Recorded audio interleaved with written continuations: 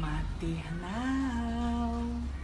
Hoje é o dia da árvore e a tia Carla vai contar uma história para vocês muito legal.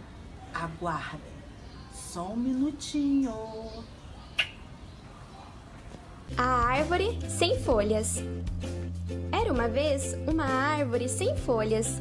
Não havia nenhuma folhinha sequer. A árvore sem folhas vivia sozinha em um grande campo verde. E, por viver sozinha, nunca havia visto sequer uma única árvore. Por isso, não sabia que as árvores tinham folhas. Certo dia, passaram por ela algumas pessoas.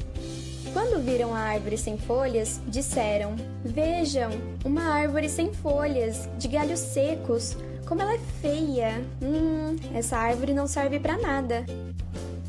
A árvore ouviu o que as pessoas disseram e a partir desse dia ela ficou triste e também percebeu que não tinha folhas. Veio o sol e a árvore disse assim: Sol, você que é tão poderoso, poderia me dar folhas?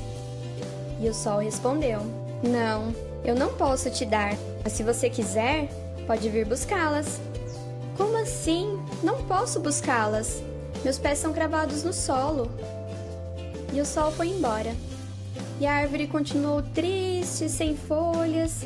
Mas quando o vento passava, a árvore disse assim: Vento, você, que é tão poderoso, poderia me trazer algumas folhas? E o vento respondeu: Ah, árvore, eu sei como retirar as folhas, mas não sei como colocá-las. Sinto muito, não posso ajudá-la. E o vento foi embora. A árvore continuou sem folhas, triste e sozinha. Passou uma nuvem e a árvore disse: Senhora nuvem, será que você poderia me trazer algumas folhinhas? E a nuvem respondeu: Não posso trazer folhas, porque eu só posso chorar. Vou chorar por você. E a nuvem chorou, chorou, e mesmo assim, a nuvem não conseguiu trazer, com suas lágrimas, nem uma folhinha sequer para a árvore. E continuou chorando e foi embora. A árvore continuou sozinha, triste e sem nenhuma folhinha.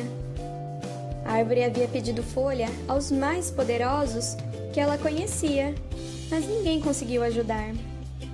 Um dia, algumas crianças estavam correndo pelo campo verde quando viram a árvore e notaram em um de seus galhos um balanço pendurado. As crianças passaram a brincar, balançando contentes, mas notaram que a árvore estava muito triste. Então, resolveram dar um grande abraço em volta da árvore, apertando bem o seu tronco. A árvore até se sentiu melhor, mas as crianças viram que ela ainda continuava triste como a criança é muito sensível e observadora, notaram que a árvore estava triste, pois em seus galhos não havia nenhuma folha. Tiveram então uma grande ideia. Foram para casa e recortaram pequenos corações coloridos de papel. E quando voltaram, colocaram nos galhos da árvore. Cada criança que chegava para brincar colocava na árvore coração de papel e assim encheram a árvore com muitos corações coloridos. A árvore ficou toda colorida e a alegria das crianças encheu de cor a árvore que não tinha folhas. E assim a árvore ficou feliz.